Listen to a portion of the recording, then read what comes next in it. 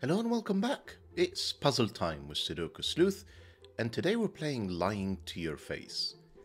Quite an unusual name for a puzzle, I must say. So, trying to come up with a thumbnail that's all about lying was actually a little bit challenging, which is why you're looking at this particular book. So, whenever I'm struggling for ideas, I kind of Google the main theme of the puzzle, which is about lying. And, um, you know, the first few images that came back were former US presidents, um, Democratic ones and Republican ones that were caught lying. And I thought, well, that's not really a landmine I want to step on. So I went for kind of famous liars in fiction instead. And the one that really caught my attention was Gatsby, as in from The Great Gatsby. And in particular, there's a one fam- one famous line in there, which is around the fact that he has to have he used to have a library full of books, but he clearly never had read the books because the books themselves were never cut open. And now, maybe for the younger viewers, I'd need to explain what it means by cutting a book open, because certainly uh, in the olden days, you used to have to actually print books on much larger pieces of paper. Then you fold up the paper and you stitch all of them together. But the folds themselves, certainly in the printing presses that were a little bit older, didn't used to necessarily get cut off, and you actually used to sometimes need to get like a, a letter opener or a knife or something or a carpet cutter to actually open up all of these sheets so that you can actually, well, open up the book. And yeah, I'm old enough to at least have bought a few books like that and a few magazines and comics. So, yeah, something new for our younger viewers. Right, the puzzle itself, I selected it because it's only a 6x6 puzzle. And we had a, you know, a fairly set of difficult puzzles for the weekend. So I'm hoping that we'll get to start Monday on something a little bit easier. Let's take a look at today's puzzle. So, Lying Right to Your Face by sujoyku. This is a normal irregular 6x6 uh, Sudoku. So we need to place the digits 1 to 6 once each in every row, in every column, but also in every one of these irregular regions. And they kind of have a very consistent shape except for the ones in the middle that are slightly different. Right, so that's the usual rule set. Here's the lying part, Rellik cages. So all cages are Rellik cages. In a Rellik cage, digits do not repeat, and any combination of one or more digits within that cage cannot sum to the value in the top left corner. Right, so this might be very awkward to try and... Yeah, this may be very awkward to try and explain without actually partially solving. I'm going to try and give it a go, and I think the 3K is probably the easiest one to go. So one example of that rule is I can't put the digits 3 in here. So the 3 would have to go into the 6. Secondly, if I place the digit 1 inside the cage, I now cannot place the digit 2 because 1 and 2 would add up to 3. So the 2 would have to be in here, and so on and so forth. So the idea is no single combination of the digits that are in these cages, and they're all three cell cages, can add up to, excuse me, the cage total or supposed total because it's, you know, lying to you. Hopefully that's clear enough.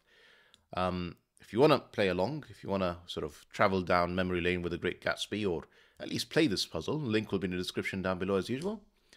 And if you're feeling a little bit confused, um, watch for a few minutes. I'll probably start with the top left cages. These are probably the easiest to get going and then hopefully that'll be enough of a clue to crack on with it yourself. Right, link in the description down below as usual. And with that said, I'm going to restart the clock and see how I get on. So, 5 cage. Well, can't have 5 in the 5 cage, otherwise you've already achieved the total. Second, you place the 5 in the 8 cage. Well, I can't place the 3 next to it, otherwise 3 and 5 would add up to 8. So 3 would have to go in here. Now, if I place a 2, well, I've broken it, because 2 plus 3 is equal to 5. So the 2 would have to go here, in, uh, 2 would have to go in there in the 8 cage. And now I can't place the 1. If I place the 1, 1, 2, and 5 add up to 8 exactly, the 1 has to go in there. I now can't place the 4 cage inside the 5 because 1 and 4 add up to 5. So 4 is in there, 6 in there. That's a complete pencil mark of these two cages. So can't do 4 in here, 4 is there, can't add 3. Can't add 1 now. Can't add 2 in here. And then can't put 6 inside the 7 because 1 and 6 would equal to 7. So that's 6, that's 5. That's another set of cages that are pencil marked. So what I'm tempted to do is, because a regular Sudoku tends to catch me out, is not wait until I pencil mark all the cages before I start thinking, you know, doing things I spot, such as where does 2 go in column 1? Well, it can only be in one or two cells in here. That's not a 2.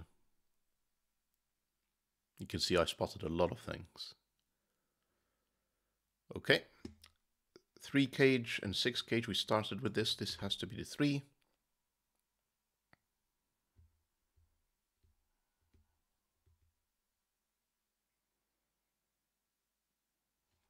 Hmm.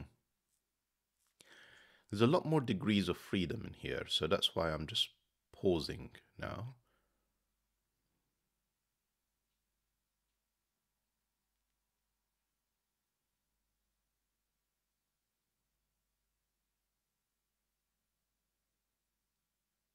Okay, let's carry on with irregular Sudoku for a second. So if you think about column one, in particular, these two cells, where are these two cells in this region?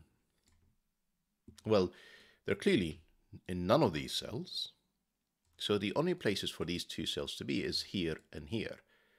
And the only common digit between these three cells is the 1. So that's 1. These are not 1s.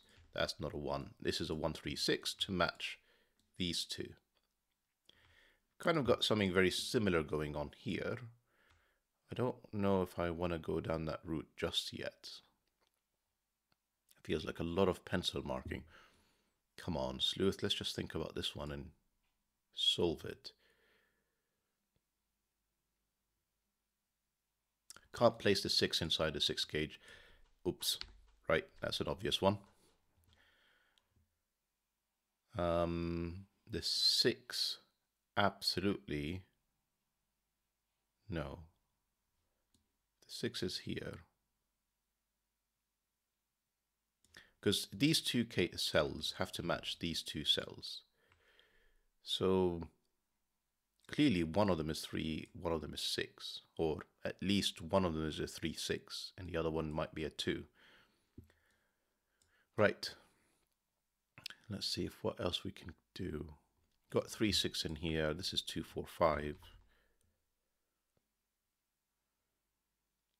This is going to be now 136, which is actually kind of helpful because it removes 3 from all of these. That's the 3.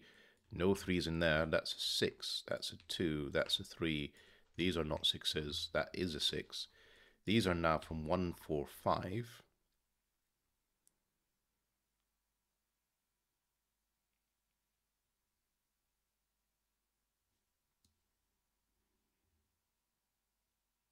And this has to be a 2, just completing the region. So that's not a 2. That can't be a 4 or a 1, because 2 and 4 would add up to 6. 2, 1, and 3 would have all three add up to 6. So this has to be a 5. This is a 4. These are not 5s. Hopefully that's all looking good for 3. That looks good for 3.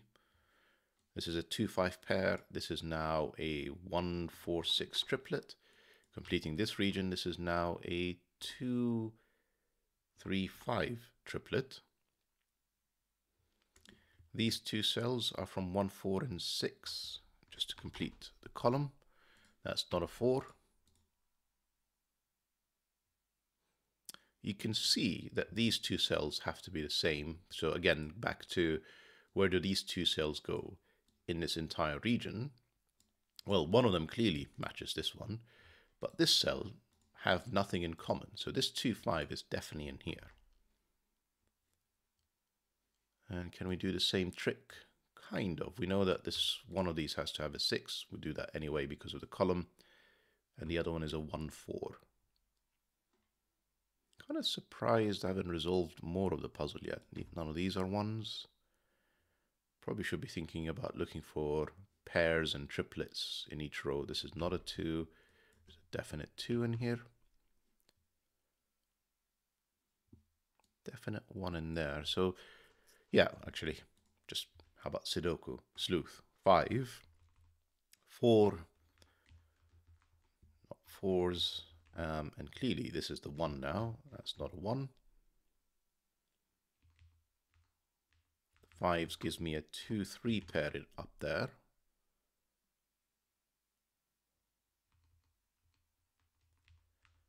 Four six one four six four five. Not really seeing anything horizontally. I know I've been looking predominantly at columns, regions, but horizontal is not really pointing anything out. Two five, um, a pair in here, which gives me a three, a two. The three eliminates a number of options. I mean, we knew that was that didn't have a three because of the one six. So that's one six, two five, three. Where does four go in the row? It can only be in here. Right. 4 can't have a 6 in the same cage and a 10. That's a 1. That can't be a 5, otherwise we're in trouble because all of that would add up to 10. That's 2, 5, 2. None of these are 1s. That is a 1. That's a 6. That's a 3. That's a 1. Right, I think we've sold this 3 up down here. That's, whoops. That's a 6. That's a 3. That's a 5, 2,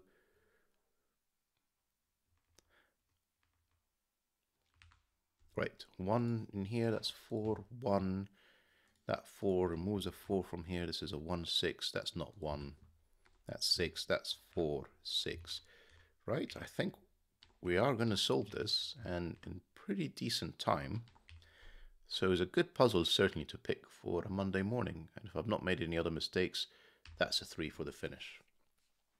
That's a beautiful puzzle, sujoyku. Um, you know, I'm glad I sort of went back to it. It's about a month old at this point. What did it say? Yeah, 23 days. So um, definitely glad I featured it, and it is highly approachable. So certainly I hope, despite the slightly more confusing and unfamiliar Sudoku variant rules, that you guys enjoyed it as well. So, um, only thing left to say, hope that you enjoyed the puzzle and the video, and maybe check out some of the other irregular Sudokus that YouTube's going to recommend to you next. It's not something that we tend to solve very often on the channel, but they do play quite unusual, such as these one, twos, etc. So give it a go. See you back for the next video. Bye-bye for now.